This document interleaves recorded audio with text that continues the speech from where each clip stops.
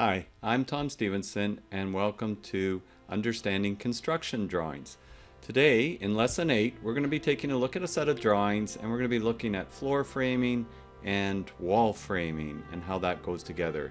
In my previous video, I discussed the different components that are involved in framing. So if you like, check out my playlist, click subscribe, look on the YouTube channel. You can go back to previous videos. Also look in the description and you'll see links to other videos as well. You might have to copy and paste them in, but they should work for you. Okay, so let's get started. Uh, this is a set of production drawings uh, for a subdivision that had multiple homes being built. And in this particular case, they're being built in just outside Toronto, Canada. Uh, these drawings, unlike some of the other ones that I've used, are all imperial, so you'll get a good sense of uh, imperial measurement on this particular set.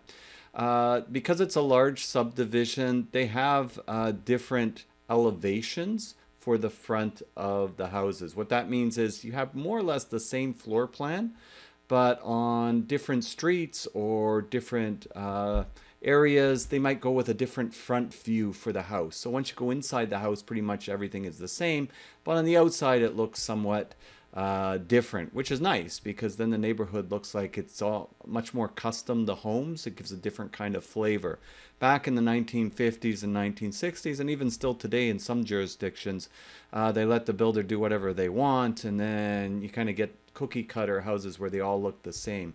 So in this particular case, they made a conscious effort, the municipality, to make sure that there's a good distribution of different looks on the house. A lot of progressive builders would have done that anyways uh, because they know homeowners like uh, some variety and they don't want that cookie cutter um, sort of look, but a lot of townships will make sure that that doesn't happen. Not all, uh, just depends where you live. And so it gives you a little bit of a sense that way.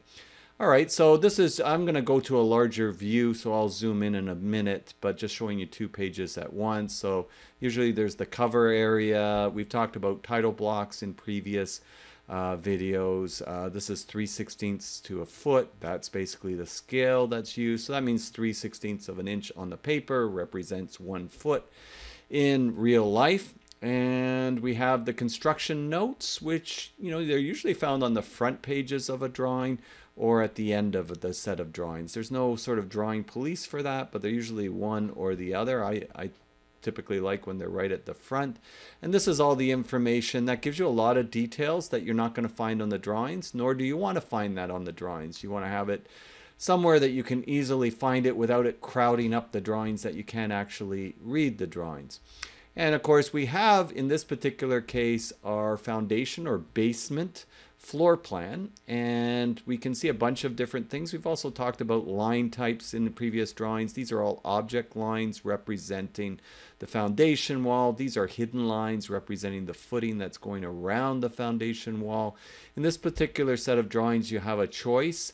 You have just going to the title block here, lower level plan or basement, elevation A, and then optional finished lower level plan, elevation A. And so you have a choice if you wanted to have your basement finished when you purchased it or not. And so that's just another element of this particular set of drawings. And we've talked about foundations again in previous uh, lessons. Uh, so we can see here we've got the first floor, and this is saying main level plan elevation A, right? So main uh, level plan elevation A. And on the right here, we've got second level plan elevation A. So maybe I'm just going to go so that you can see it a little bit bigger on one sheet of paper here. So just give me a second. Okay, so I'm in single page view right now. And we've just gone from the foundation uh, drawing. This one is the actual finished choice. If you want to have a finished basement plan and so it's that's why it's got you see insulation hatched and so these would be framed out walls here. It's showing a bathroom down in here. Then there's a section that's unfinished. So going to the actual first floor they have what they call a great room a breakfast area a kitchen uh, a dining room. And what I've told you in previous drawings is what I usually do is I usually pretend like I'm walking through the front door and I'm looking around and what do I see. And so in this particular case, If you look to the left when you come through the front door, it says 42 inch half high half wall. So there's going to be an opening, but there's going to be a little bit of a wall here, and it's going to be 42 inches off the floor. And the reason that's there, you could put a sofa or something against that wall.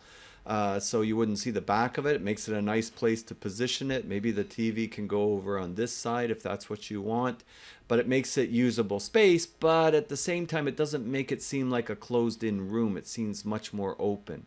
You do have this column here that would be there, and then you have basically this area here with the dashed line, and you can see that it says FA at 8 foot, AFF right? And that's uh, referring to a flat arch at eight feet above finished floor. So you get to use used to what these abbreviations are. Now, if I was new to these drawings, what I would probably want to do is spend a little bit of time going back up to the beginning here and looking at the legend and you'll probably find a lot of these things here like flat arch right? Above finished floor. So a number of the abbreviations and symbols uh, that we'll be talking about. As i always say take a good look at the legend. Things like point load that's a concentrated load that's coming down probably supporting a beam from up above uh, you'll find there. And then you get used to it, right? And you'll also see information here. We talked in the previous session about lintels.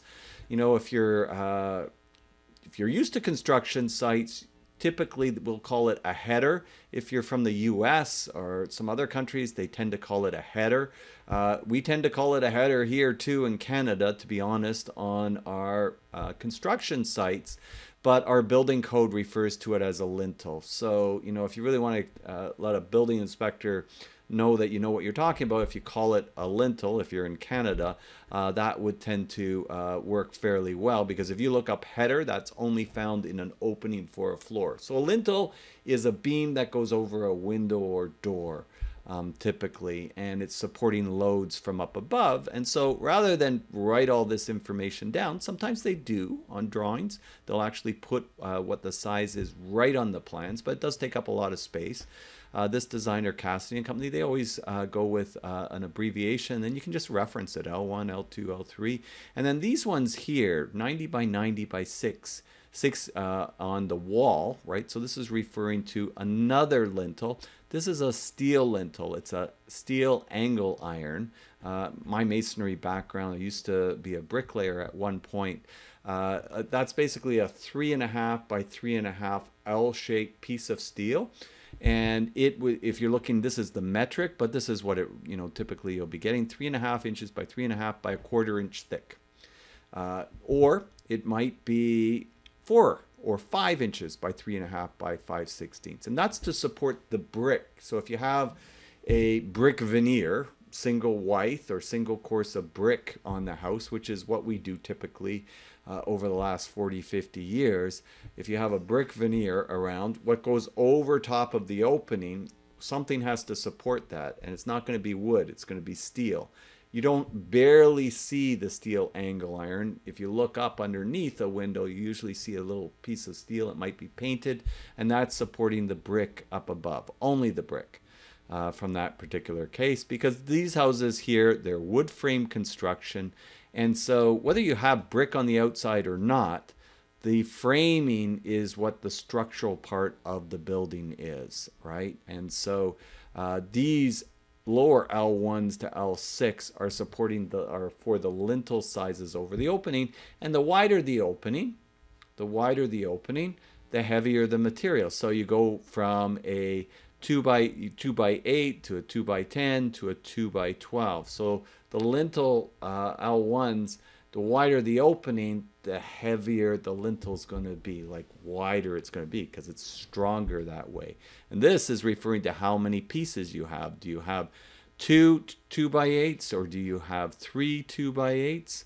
Um, that's what that's referring to. The number of they call it plies or the number of layers that are um, nailed together on that uh, particular lintel so those are a lot of little short short uh, cuts, and we're talking about doors and uh, walls and window openings today. So we also have a door schedule, and the door schedule is referring to door sizes. So these are the sizes. They, they give you metric sizes here being Canada, but nobody orders anything metric uh, that way. You say, uh, I want a two foot eight by six foot eight by inch and three quarters. This will be an exterior door when it's inch and three quarters. Most most uh, interior doors are inch and three eighths. Where we are, they're prefabricated. They're hollow. Um, they're not very expensive. They can look like raised panel and they can be fairly um, nice looking, but uh, they're hollow core doors meant for the interior. You know, if it's a custom home, sometimes it is inch and three quarters uh, thick. It's more substantial, and if it's solid wood and that sort of thing, less likely to warp and twist. Uh, so you can see the different numbers, and when we see a floor plan, well, that will tell us the door size.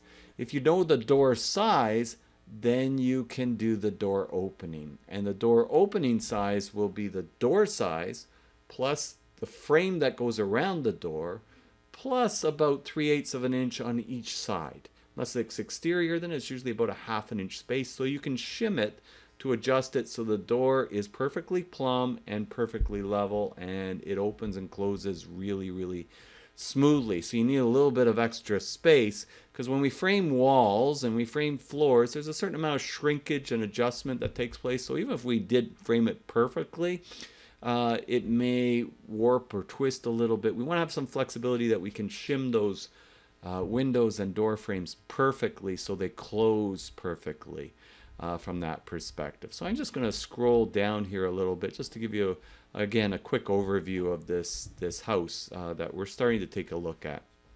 So you walk in the door, we see the living room there. Now you get the idea of the flat arch. So it's just a drop down from the ceiling at eight foot above finished floor. Hmm.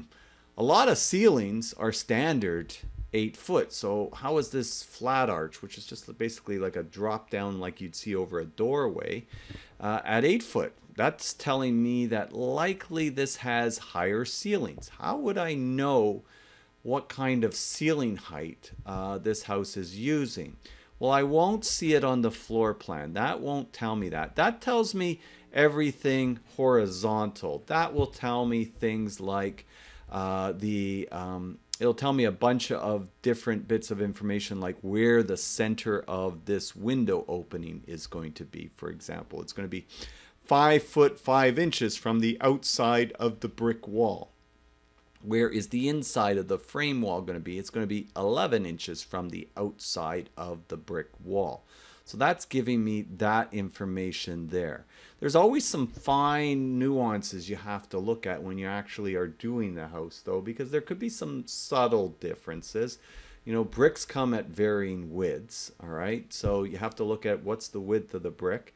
We have to allow for an airspace between the brick and the wall. It doesn't really show you, well, like doesn't really show you that, but you can kind of see that little space there. There's always going to be an airspace because building code requires a one inch airspace between the brick and the structural wood frame wall.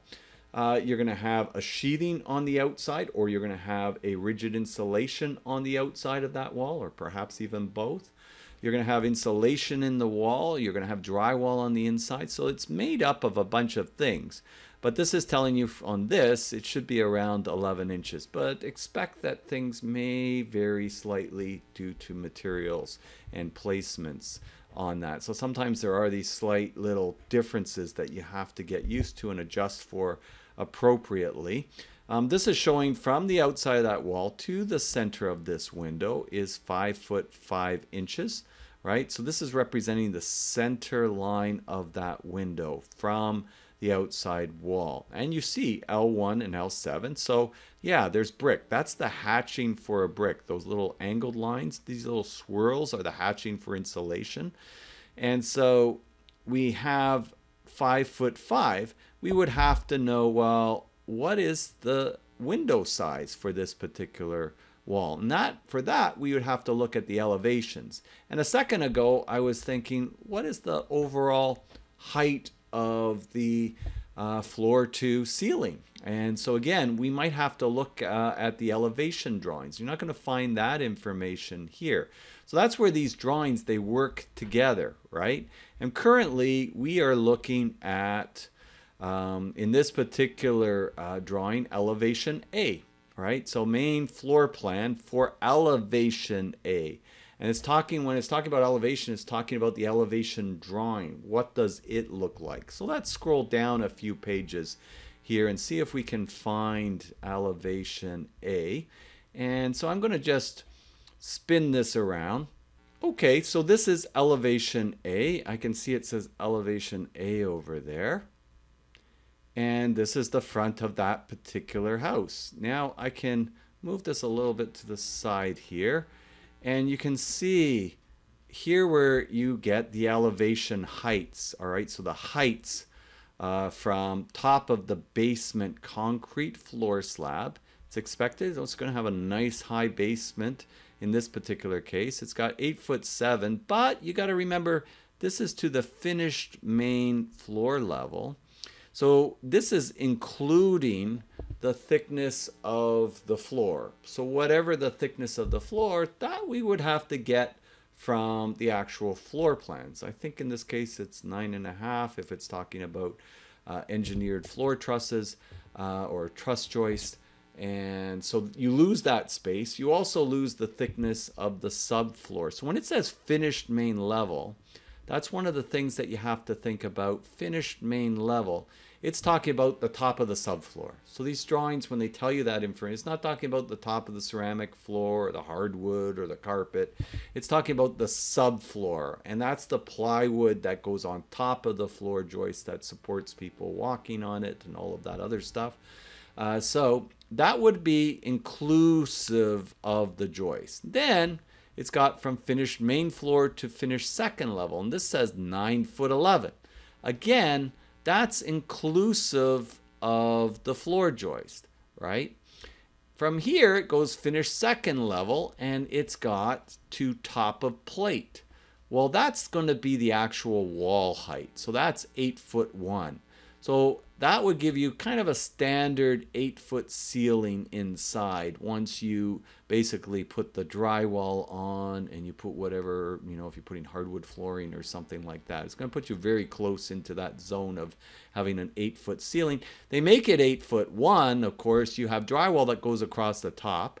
And then always the drywall goes on the ceiling first and then you put the drywall on the walls against that because that really supports the drywall really well around the edge. And drywall is four foot wide. So you got four foot and four foot. That would still give you a half an inch of space off the floor. You definitely don't want to have to have the drywallers cut a half an inch off the drywall all the time. So they design it so that it will actually fit really well. And you can even get pre-cut studs that will are cut to allow for a single bottom plate and a double top plate. And again, we talked about that in the previous video. Uh, you can go back, look at my uh, descriptions below, and look at the playlist, and you'll see in the previous video we talked about framing terms so that you have a better idea of that. But we're at 8 foot 1. So that's basically for an 8 foot ceiling. We're at 9 foot 11. Now the floor, I think, we'll check it because we should verify it. I think is around nine and a half inches. You're going to have your 5/8 subfloor. Uh, so again, or sorry, yeah, your 5/8 subfloor, nine and a half. So that's about 10 and 10 and an eighth. You're going to have your half inch drywall. So you're about 10 and 5 eighths. So again, you're going to be in this particular case have a nine foot ceiling. So you're going to have nine foot ceiling, more or less, when you are done. Not less, but probably slightly more so the drywall works because you can buy widened sheets um, that'll work out for nine foot ceilings, uh, which makes it a little bit easier again for the drywaller to install, depending on your jurisdictions. Um, these materials sometimes they're very sort of jurisdiction uh, specific. Very popular to have higher ceilings over the last 10 15 years. Prior to that, we went through a long period where everybody just did eight foot ceilings. And prior to that, in older houses, really old houses, 10 foot ceilings, 12 foot ceilings, they're very popular, at least in uh, some of the older parts of uh, Toronto. So we're kind of back to where, uh, at least on custom homes and even production, as these are production, uh, where you have options if you want a nine foot ceiling or a 10 foot ceiling. And so here is where you see the window sizes. So this is the front elevation for the house. This is the left side elevation here for the house. Uh, again, and this is for left side elevation A. So you got to be looking at what you're looking for. Is it on the right elevation. So this is the right side elevation, elevation A. And so this is showing us all the information for that right elevation. Again, just like you walk the floor plan inside the house, you should take a look at the house from all sides. And you know what? You can always freeze this and take a closer look at uh, these drawings on YouTube and take a good sort of uh, look and get a good sense of what's going on and orient yourself better. Now, I think on these particular drawings, because the rear elevation is more or less the same, just depending on, on the roof style, uh, they uh, don't change too much. But just to point out, see, here this is elevation B. So this is elevation B. See the front of the house? It's quite different. It's got like a gable roof over here. It's got like a soldier with a uh, rowlock course above that, brick rowlock. It's just the way that the brick are positioned. You can see which windows operate. These ones open, these ones are fixed glass. Here, you can see you got a semicircular arch here with a keystone, uh, precast keystone brick. So it gives kind of a, a, really nice sort of look, and you got this uh, flat roof over the porch. So looks nice. If I go back to elevation A, if you recall, let's go back there. Elevation A. Looks quite different. It's the same floor plans, little bit difference in the front of the floor plans where parts stick out, but the rest of the house more or less the same except for the roof and the roof line. So if you're walking down the street and this house is right next to this house, you won't think it's exactly the same house when you walk in, but it's pretty close. There's a few minor things, but it's not much different, as you can tell from the floor plans. Uh, so that's how builders are able to get different kind of looks going on the actual house. But let's go ahead. I want to find the rear view because um, that's the left and right for B. And so just to pull up the side so you can see over here, ele rear elevation A and B. So it is more or less the same, A and B. And you can sort of get an idea of the roof layouts too. So uh, the roof layouts here, this is roof plan A, right? A lot of different stuff going on at the front, right? So a lot of different stuff if I want to compare. See, you've got basically extra valley and hip here. Uh, a lot of different things going on here, but look at the back. The rear elevation, more or less the same. And so this back elevation here is more or less the same whether you've got elevation A, front elevation A or front elevation B, that part is going to remain pretty much the same. And so this is where you would see, for example, the window size. So this is saying 24 wide. So they're individual units, and usually the window manufacturer joins them up. So they make them up as individual units. This is a casement window that is hinged on this side. That would basically open out. This would be basically a right hand uh, hinge on that, and it would open outward. So the hinge is there, so this would swing that way outward. This one's fixed, so it doesn't open, right? and it's got a brick soldier course over here. It's got a brick veneer all the way around. And this is the brick which is inside the house in that floor plan that we were just looking at uh, for uh, floor plan A. So let's go back there now. I think that's floor plan way back here, going back, back, back. And I'm to have to spin this around again for you. Uh, I'll just do that right now. There we are. And so this is that right over the uh, sink. So those size of windows, what was it, 24 by, uh, I think it was uh, 48. Whatever those two are, so it's 24 and 24, you have to add them up. That would be 48 in width. And so let's just go back there, but we're talking about this right over the sink. You notice there's a patio door here. You also notice there's a window that is at each side of this fireplace. So you see how I got to look at the floor plan. I know where the center of the window is going. Then I have to go to the elevation drawings and take a good look at that so I can get a good sense of the rear of the house. So let's take a look. Up, this is the upgraded rear A. We were looking at just the regular um, rear elevation for A and B. So that's the one we were looking at. And it says 24 by 44, not 48. So that means we've got to frame this opening that it's big enough for 48 inches. Uh, sorry, yeah, 48 inches in width and 44 inches in height. And we have to allow a space around it so we can shim it with cedar shims typically to adjust it so that it's exactly level, exactly plumb, nice and square so the windows operate properly and it looks nice from the inside. Your kitchen sink is right below this, right? So you have to get that elements fixed that way. Now, what height do we put the window? Well, that's where you look at the elevation drawing. Top of window, top of door, right? So that's going to be, the top of the window is going to be 8 foot from the subfloor. So you know where you have to measure to, right? So from the main floor up to the top of the door window, that's going to be 8 foot. And so that'll give you your line height. And so you notice that this is going across.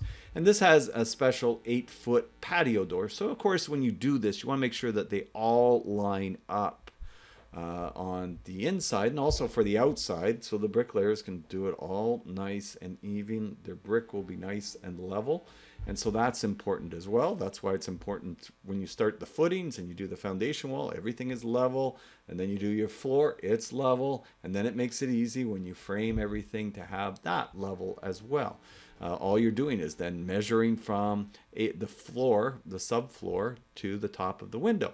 If I know where the top of the window is, guess what? I know where the bottom of it's going to be because then I just got to measure down 44. Now, I'm not going to only measure 44. I got to allow for that space around the window. Usually on exterior windows and door frames, we allow a half an inch around the edge. Some of you might say, well, in my jurisdiction, we allow 3 eighths on each edge that's fine as long as you're in that zone and you can adjust it and shim it to plumb but also it's important to remember that you got to put foam insulation around that gap and make sure it's really sealed well uh, so usually half an inch works pretty good it gives you a lot of flexibility you got room to put the foam uh, foam insulation in and make it really really tightly sealed from that way the other thing is I would never go only from the drawings now I want you to repeat after me the map is not the territory. The map is not the territory.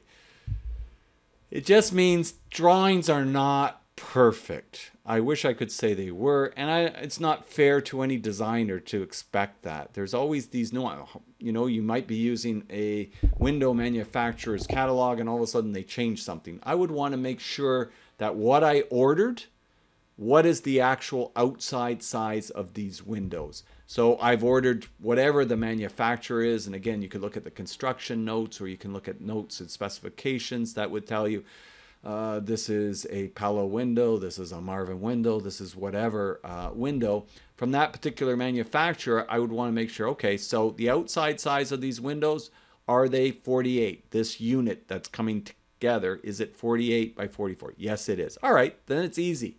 Then I just add an inch to the width. So now I've got 49 and then I add an inch to the height. Now I've got 45.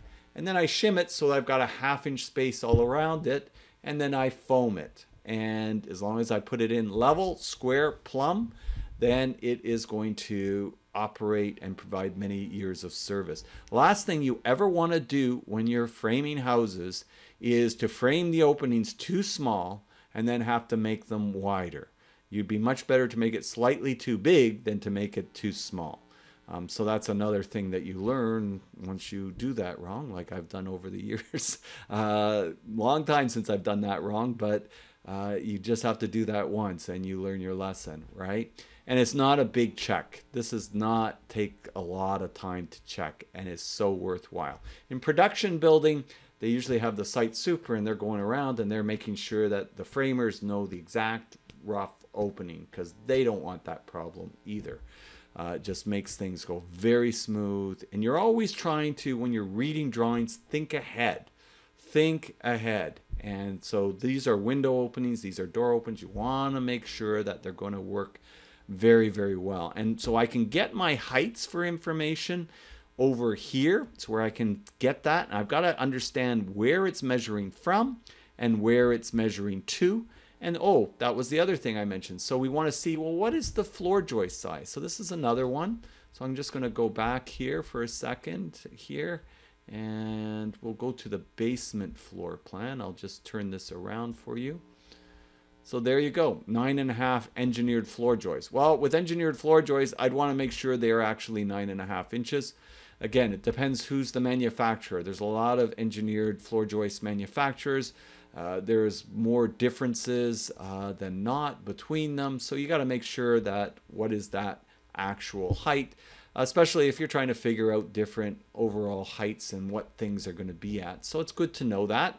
And uh, we also see on this drawing here uh, a hexagon symbol, how this designer has done it. They do it very well organized. I love the way that they uh, organize things on their drawing. It's so consistent. Uh, it's great. Uh, so they use the hexagon here symbol. It's frequently used, but not always used. And so that's number seven. Okay, that's easy peasy. I'm going to go up here and I'm going to go to my construction notes and I'm going to look at 7. All right, so in this case, it's talking about the concrete slab because I'm in the basement, right? So it's talking about the slab uh, and it's giving me information about that.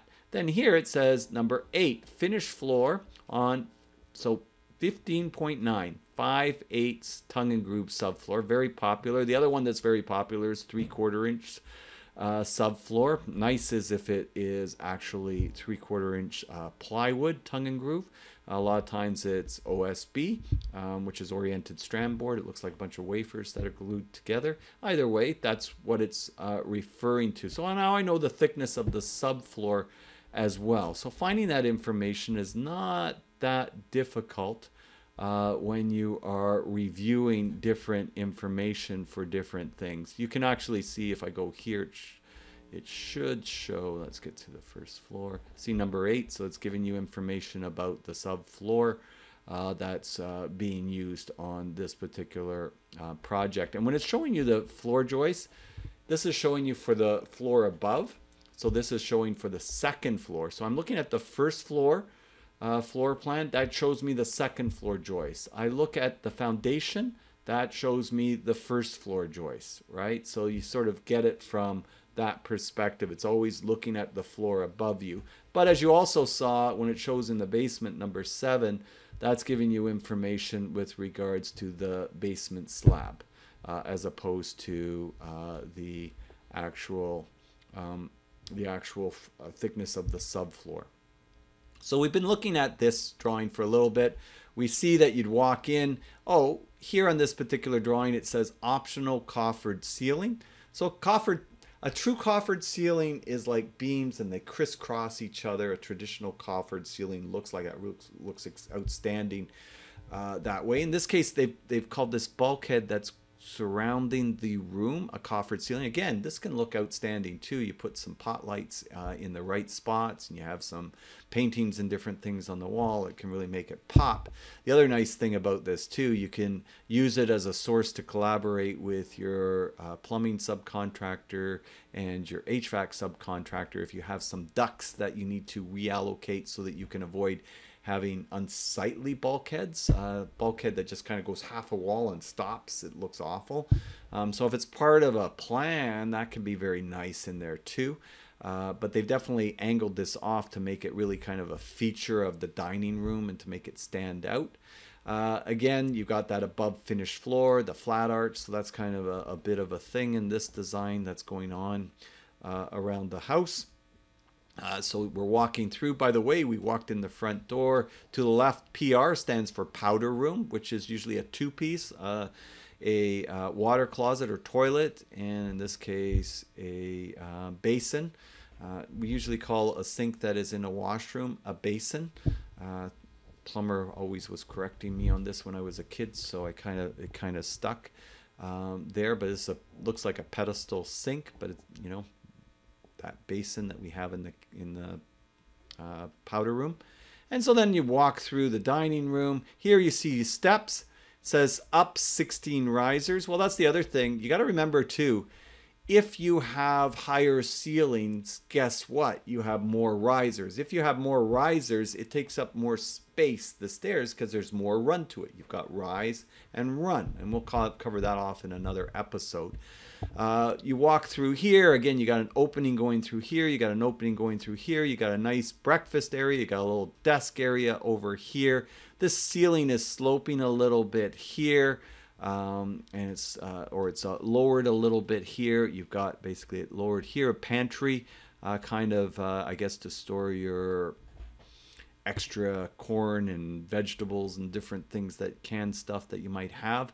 Uh, nice kitchen area with an island and a breakfast nook area here, wide open, patio door, and the great room. And the great room opens and we've got a direct vent fireplace which means it'll be a natural gas fireplace and it will vent directly out through the wall so you don't have to have a chimney going up the whole house. And if you remember the rear elevation we looked at uh, then we could uh, we would see that so there's a bunch of information there with regards to it and we can also see there's some hexagon symbols that we could check out and look this is looks like it's a step so that in case there's a change in grade, whether you'd have a single step or whether you might have to have a little bit of a walkout deck with steps will be dependent on the site plan. And we talked about site plans in one of the earlier videos too. You can go back to and what the elevation of the property is. Does it slope off? Does it slope back? Is it fairly flat? That will change based on individual properties on a subdivision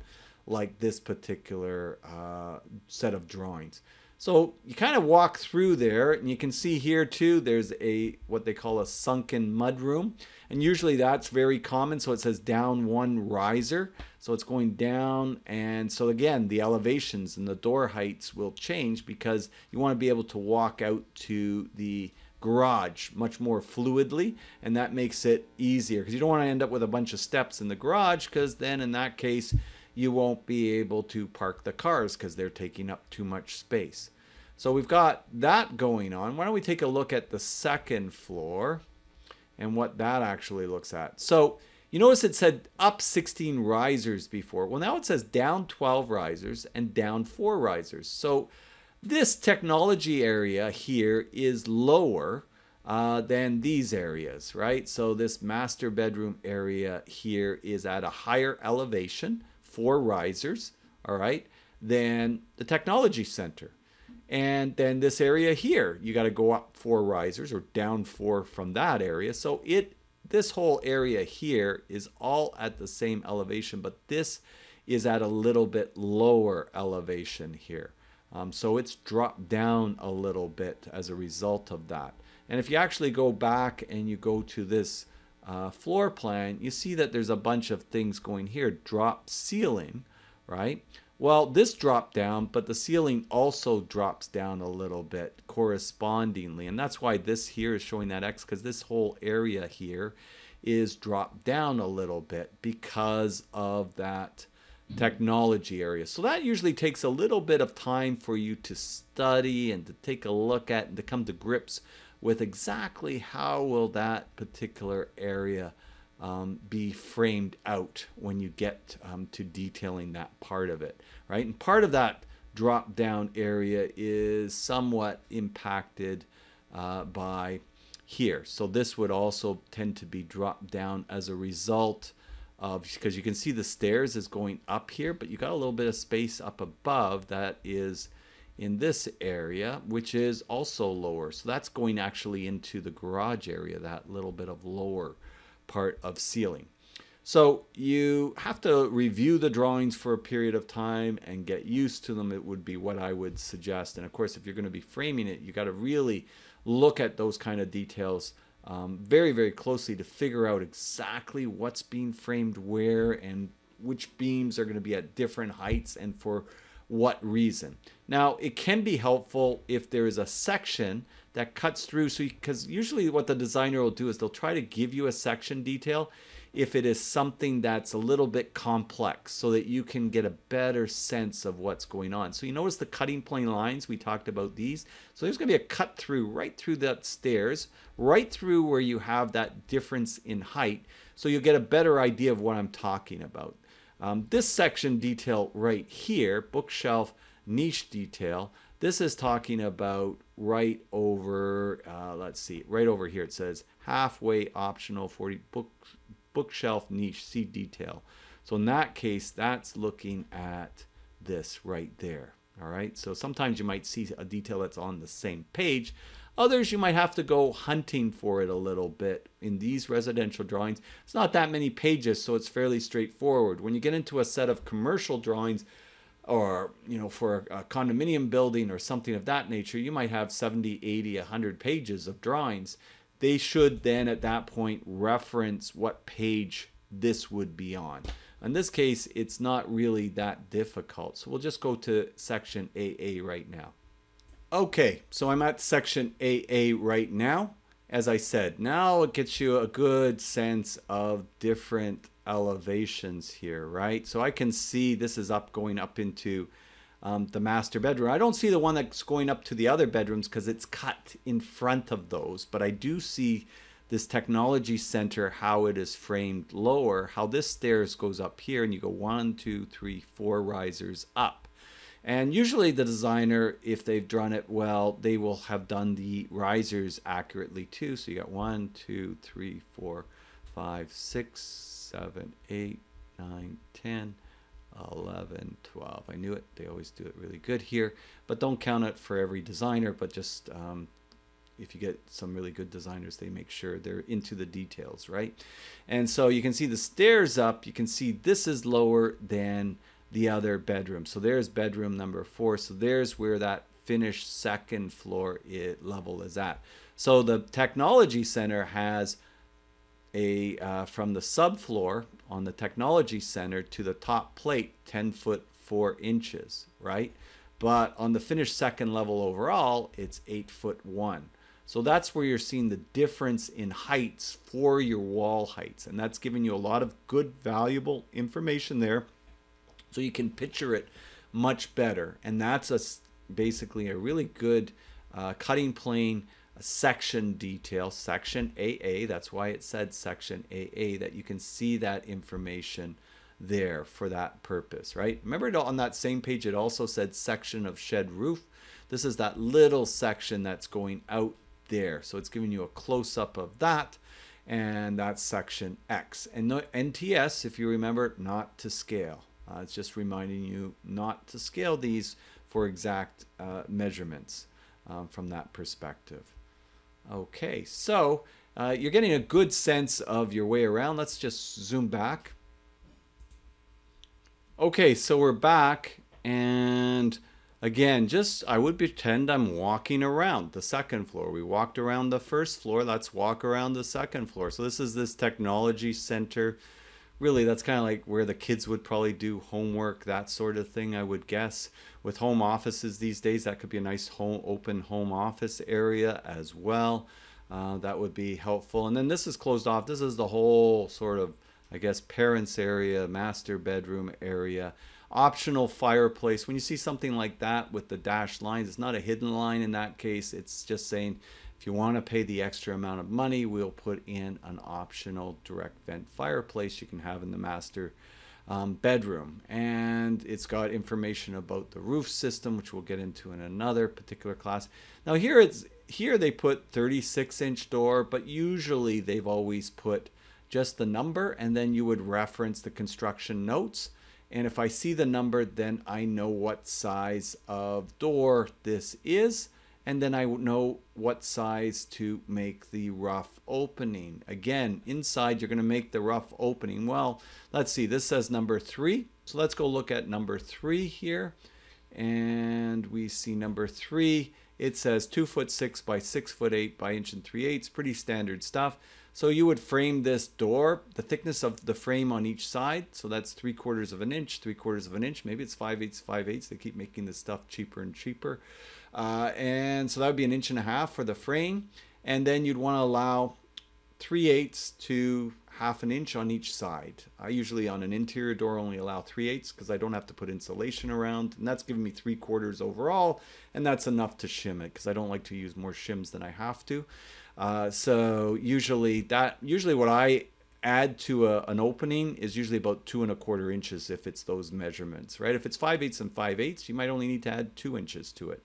Uh, so it depends on the on the actual frame size. So somewhere between two and two and a quarter inches. So that would give you around two foot eight to two foot eight and a quarter as your rough opening size. And then you got to look at the height. And the height you can be off by a little bit more. You know, it's better to have a little bit more than not enough. Uh, in that case, so you got to allow for the frame over the top you also got to allow, is there hardwood going on the floor? Is it three quarters of an inch? Because that's going to raise the floor. And then you got to think, do I want to have a bit of a space underneath the door? Sometimes that lets uh, the cold air returns work much better in the rooms. If you ever find there's a room and it's freezing cold and you've shut the door at night and there's carpet, it's probably sealing up that room pretty good if you don't have a cold air return in that particular room. Now, if you cut a little bit off the door that the air can flow through better, it won't become pressurized and it'll be get a lot more warm air to it. So generally you want to have a bit of a space underneath the door. What that is, you could debate it, but usually you want at least around three quarters of an inch underneath the door, uh, three quarters to one inch. But some cases, you know, you want it fairly tight, maybe a washroom for a variety of reasons. Um, that's kind of a personal preference. But for sure, you don't want to have the uh, finish carpenter having to cut all the doors. That's a lot of unnecessary work. When we think about lean construction, we think about eliminating and uh, reducing waste, and that would be big time waste. Uh, that would be frustrating for whoever had to do it because they're thinking in their head if they had just thought a little bit, it would have not been a problem. So we've looked at walking through the house, the concept of visualizing what you're looking at. We've talked about a lot of points on uh, framing members and window locations and rough opening sizes for windows and doors, orienting yourself, uh, where uh, stair, where framing members are indicated on the drawings. This here is SB, that stands for solid bearing. That means there's something being supported from above uh, and that's driving that weight from above down through. So it's being supported. Usually it's got things like uh, beams or girder trusses from a, a, roof truss that is creating this load and you want that weight because the roof trusses if it's a girder truss it's supporting other trusses that concentrated load to flow through the walls down into the foundation walls, down through the foundation walls onto the footing, down to undisturbed soil, and the house is stable. Um, so that you don't get sagging or potential uh, structural issues. So whenever you see SB, it's talking about solid uh, bearing, making sure that that's solidly supported. If it's two by six walls, that those walls are solidly supported with two by sixes uh, right directly underneath, not only on this floor, but all the way through, all the way down to the foundation wall um, from there. So that's another indicator line that you will see on that. These doors here, so as I was saying, you know, you go, you find the door number four, and that would tell you the door size and how you make it. It's also how it's swung. That means the hinges are here. And this particular door is what we call a left-hand door. It means it opens to the left. If you stand in the doorway, and we used to always say, you know, there's these butt hinges, right? That's what they're called, butt hinges. Regular hinges you see on a door, they're called butt hinges. If you stand with your butt to the butt, looking this way, then essentially my left hand would be here, so that would be a left hand door. If it opened this way, it would be a right hand door. Let's take a look at that. What swing does this door have? Is it a left or a right? Got it? It's a left-hand door. What about this door? It's a right-hand door. So that's how, you know, you're standing with your butt to the butt. This would be my right arm on this side. This would be my left arm on this side. And that's how the door opens. A lot of doors we order today, especially in production anyways, are pre-hung. Saves time. And so you have to order them, do I want left hand or do I want right hand? And so you have to know those kind of things as well. This is right hand door. All right, so that's what I wanted to cover in this video. I'll be diving more deeply as we go through this series into other parts and components. So hopefully this is helping you to learn more about reading construction drawings. And just remember the map is not the territory. Know there's some differences and nuances that you have to review and understand. And onward and upward. We'll see you next time. Please uh, click subscribe if you enjoyed this video. Leave comments, questions, and we'll see you in the next series. Bye for now.